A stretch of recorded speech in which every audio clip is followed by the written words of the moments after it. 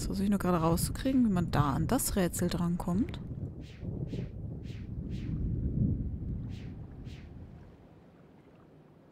Hier. Freundlicherweise nicht abgeschlossen. Aber noch mehr Seiten. Die Erinnerungen überrollen mich zu schnell. Sie rasen durch meinen Kopf und erfüllen meine Seele mit Verzweiflung. Und je mehr ich darüber nachdenke, dass nichts getan werden kann, dass niemand außerhalb dieses Schildes überleben kann, desto schneller dringt der Nebel ein. Ich kann mich im Nebel verlieren. Wenn er dick genug ist, kann ich loslassen und bin in Sicherheit. Ich kann beginnen zu vergessen. Aber ich darf nicht vergessen. Ich muss an jede Lüge erinnern, die sie meinem Volk erzählt haben wie sie uns manipuliert haben, um ihren Willen zu bekommen. Sie erzählten mir, sie kämen, um meine Welt zu reparieren. Sie baten mich, ein Treffen mit den Ältesten zu arrangieren. Die Bücher, die sie mit sich trugen, zeigten andere Welten, wertvolle Orte mit Menschen, die nicht so hart arbeiten mussten, um zu überleben. Sie erzählte mein, erzählten meinem Volk, dass Atrus diese Bücher geschrieben hätte, dass er Narayan geschrieben, aber unsere Welt instabil gemacht hätte. Sie sagten, er wollte uns zu Sklaven des Baumes machen. Sie fragten mich, erinnerst du dich nicht an nicht Savaret, Savedro? Unser Vater schrieb diese Welt, um uns zu unterrichten, um seinen Gönnen ein schlechtes Beispiel einer Welt zu, seinen Söhnen ein schlechtes Beispiel einer Welt zu zeigen. Ich wusste nicht, was ich sagen sollte. Ich wusste nicht, wie das wahr sein konnte. Aber warum sollten sie lügen? Warum sollte Atrus gelogen haben? Die Welt, die sie uns in diesen Büchern zeigten. Die Ältesten weigerten sich zu glauben. Sie sagten, wir können den Baum nicht aufgeben. Seit vielen tausenden Jahren haben wir die Latisse-Wurzeln gepflegt. Ohne unsere Tradition werden wir sterben. Ich will nicht, dass wir sterben. Ich nicht. Aber Sirius und Aachena sagten, sie sagten, sie würden zurückkommen. Savetro, so wie Artus es einst zu dir gesagte. Er sagte, er würde zurückkommen, und dann kam er nicht. Er kam nicht, und dafür wird er bezahlen. Okay. Okay. Was haben wir hier für ein Rätsel? Das ist Rätsel Nummer 3.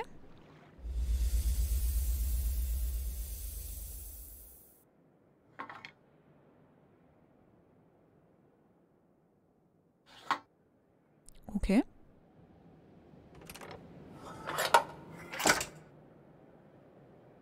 Wir schicken eine weitere Kugel los.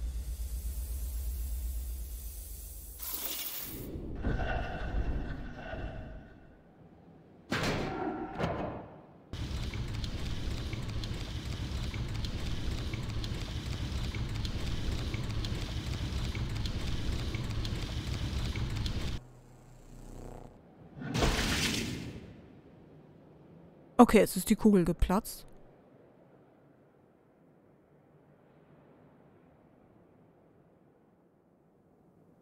Ähm, gucken. Machen wir mal eine neue.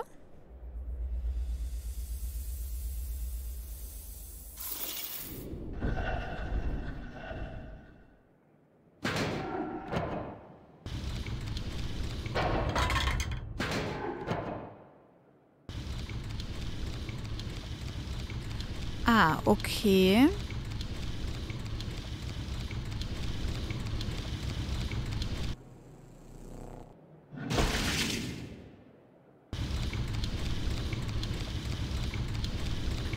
Bin mir nur nicht so ganz sicher, wo die Kugel hin soll.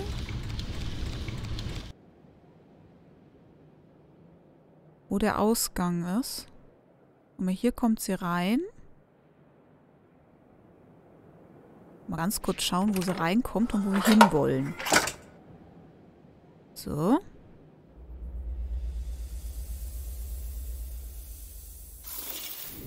So.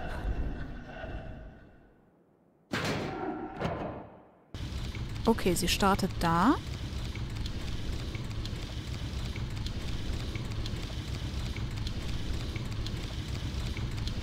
Ah, okay. Wenn ich es richtig sehe, müssen wir sie da hinbekommen, währenddessen da auch ein Loch ist.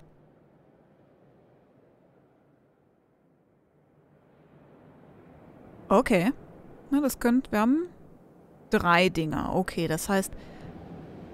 Eins, zwei, drei. Okay. Hier kommt sie hoch. Da landet sie drin. Automatisch. Dann müsste das Ding hier stoppen.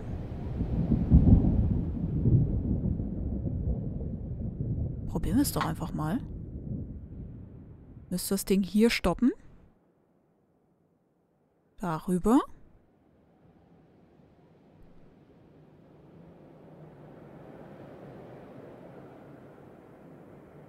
Dann müsste es...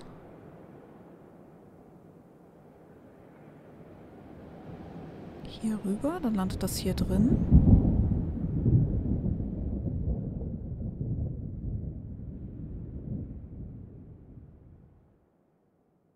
Ah, jetzt weiß ich, wieso das nicht funktionieren kann, weil das Ding hier blockiert ist, weil sonst können wir einfach sagen, das soll da stoppen. Dann wäre das da drüben und drin. Okay. So. Wenn das jetzt hier reingeht, hier stoppt, hier hingeht,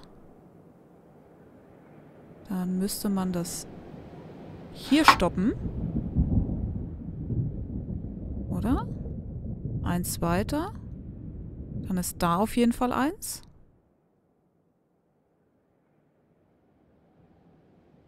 Okay, und danach müssen wir es da hinbekommen.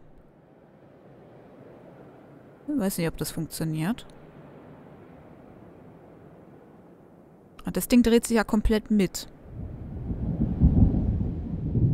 Das heißt, wenn das da ist, das Ding ist also um eins weiter nach oben gedreht, müssen wir hier hinkommen. Mit dem Ding, das heißt einmal komplette Drehung machen fast. Ähm... Genau, das ist eins weiter nach unten. Oh, wir können da kein zweites Mal hingehen.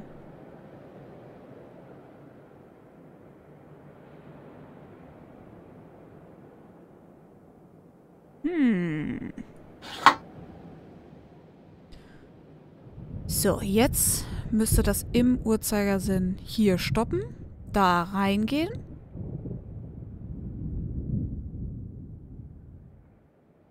Da stoppen. Darüber gehen. Dann müsste das eins weiter sein. Probieren wir es einfach mal. Ich glaube nämlich, dass es falsch ist. Bin mal gespannt.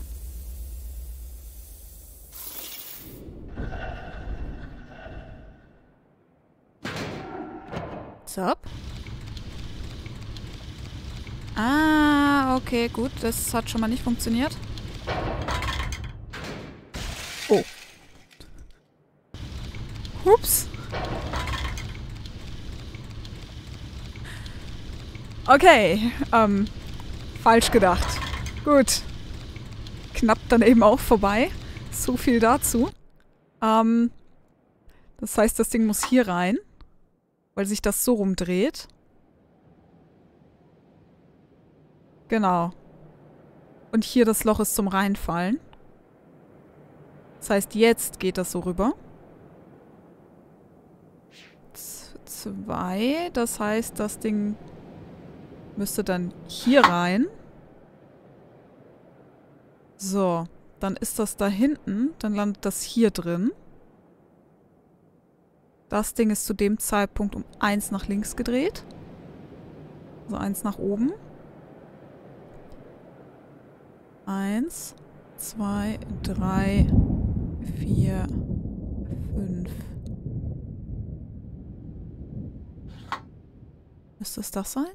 Könnte das sein? Bin mal gespannt, ob ich mich jetzt geirrt habe.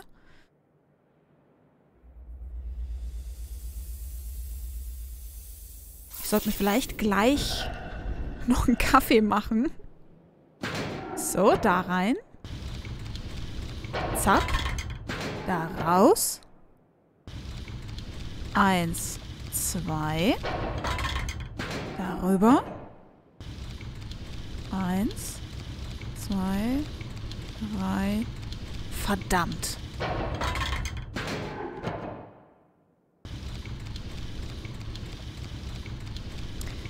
Mist, das funktioniert schon mal nicht.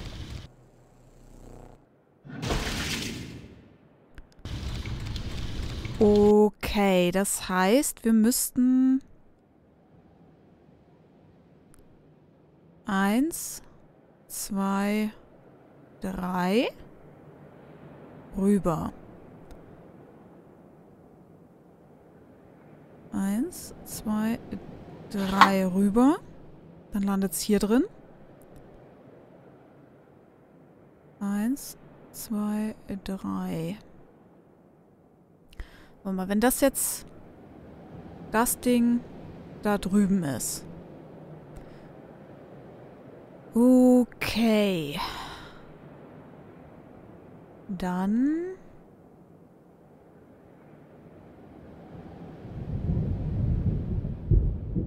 Ja gut, wie ist ja wurscht. Nee, ist eigentlich nicht wurscht. Okay, hier landet die Kugel. Eins, zwei, drei.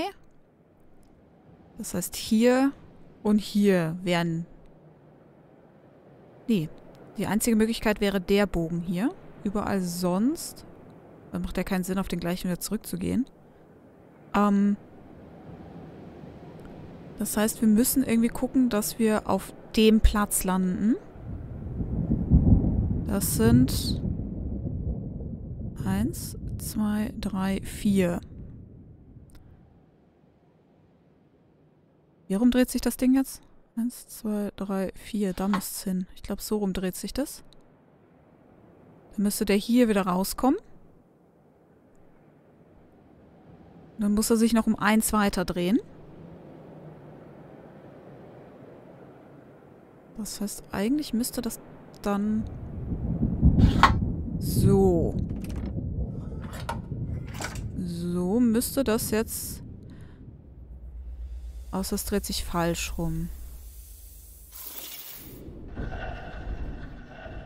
Ich hoffe, ich habe jetzt keinen Dreher drin. So.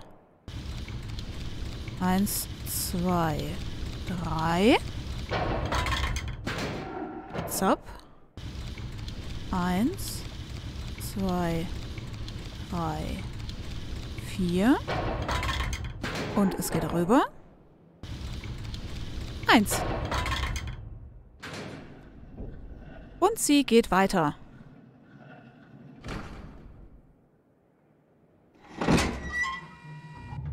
Aha. Äh, oh.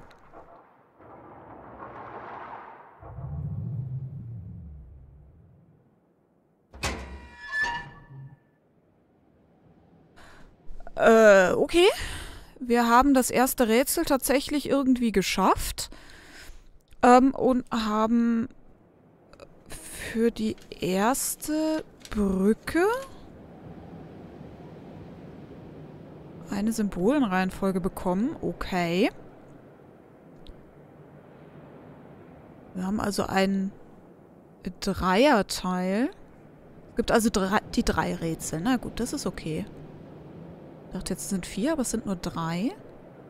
Für den ersten Brückenteil versucht das jetzt irgendwie hübsch abzuzeichnen. Der sieht katastrophal aus.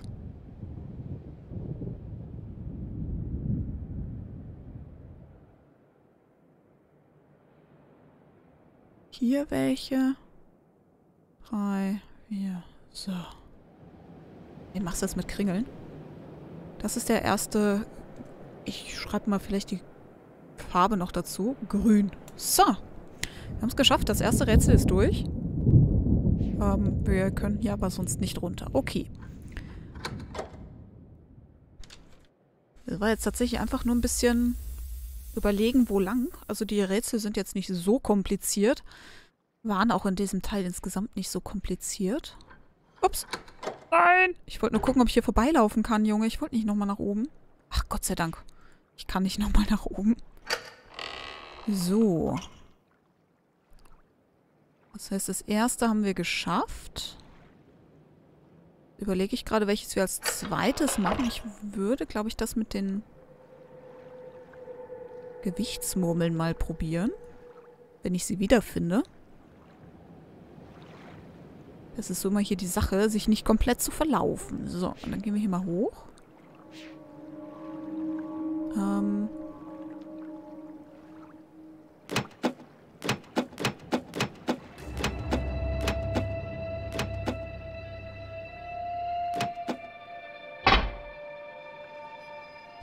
Ah. Hier können wir dann das zweite eingeben und dann entsprechend das dritte. Okay. Wir haben die erste Brücke.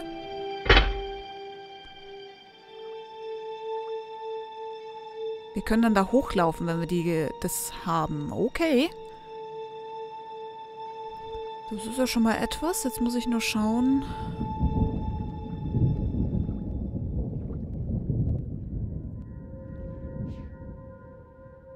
Hier mal... Also die Treppe hier zu sehen ist tatsächlich nicht so leicht. So. Ich glaube, wir sind zuerst hier lang. Ja. Das ist das nächste. Wir haben jetzt oben geschaut mit der Hilfsstellung. Das heißt, wir können jetzt mal gucken, was wir hier so haben. So. Einmal Türchen öffnen und einmal hier rein. So. Wir haben eine halbe Holzkugel. Wir haben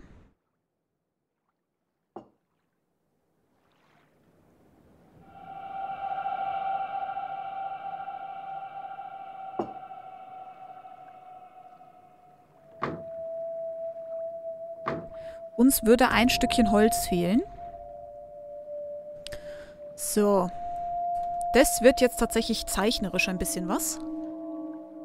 Denn wir haben nicht genau das, was wir brauchen. Wir haben aber Hinweise gehabt im Hauptteil. Und zwar eine schwarze Kugel sind vier blaue Kugeln. Ähm... Wir können das in der Mitte verschieben. Das heißt entweder Gleichgewicht in der Mitte die linke Seite ist doppelt oder die rechte Seite ist doppelt, damit das ausgeglichen bleibt. So. Wir haben auf der einen Seite, weil ich glaube, glaub, wir müssen das tatsächlich komplett ausgleichen. Ich zupse hier mal kurz das Papier ab, dass ich ein bisschen mehr ähm, Hilfzeugs hier habe. Hier. Nehme ich einfach einen neuen Zettel kackt doch die Wand an. So, was haben wir denn hier? Wir haben... Was haben wir denn überhaupt zur Verfügung? Und die nochmal zurück. Damit ich weiß, was da ist. Wir haben... Ähm, machen wir mal Holzkugeln. Ist gleich 1. Als Wert einfach nur. Das heißt, eine Glaskugel ist gleich ein Gewicht von 4. Und eine Metall. Ich sag mal das Eisen. Sind viermal Glas, das heißt es ist 16 vom Gewicht her. So, wir haben auf der einen Seite ein fixes Gewicht. Das ist diese Kugel oben. Das ist einmal ein Glasviertel und sonst Holz? Oder ist das eine Glashälfte und sonst Holz? Ich denke, so wie das optisch war, müsste ein Viertel von der Kugel Glas gewesen sein. Das heißt, wir haben ein Gewicht von... Wir müssen ja auch dreidimensional denken. Das heißt, es sind... Das sind acht Viertel, die wir haben. Also acht so ähm, Teile. Ne? Würde Sinn machen. Das heißt, wir haben ein bis zweimal Glas und sechs bis siebenmal Holz. So. Was heißt das Gewicht von der ersten Kugel? Müsste...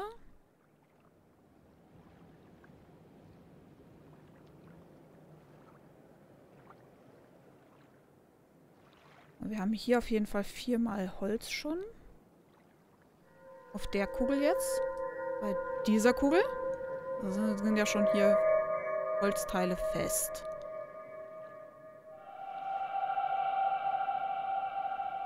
Und so wie das aussieht, müsste es tatsächlich so sein, dass, ähm, ups, dass das hier nicht stimmt. Ich wette drauf, weil das zu einfach wäre. Das heißt, ich gehe davon aus, dass das erstmal ein Glasteil wäre. Das heißt, wir haben hier ein Gewicht von ein Glasteil. Es sind vier und sieben Holzteile. Das heißt, wir haben hier ein Gesamtgewicht von elf.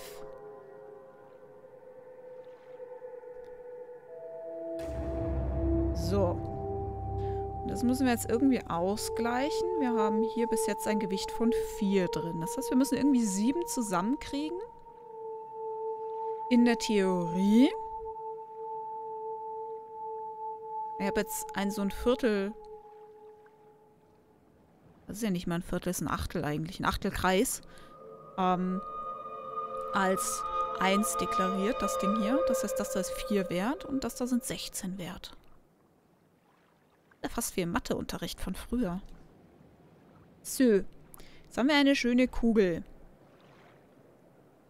Die 11 wert ist. So. Die ist bis jetzt 4 wert. Das heißt, wir können es auch so machen, dass wir auf die Seite, also das Ding, auf ein Gewicht von 22 bringen. Ich glaube, 11 kriegen wir mit den Sachen hier so nicht zusammen. Weil wir nicht genügend Holz haben.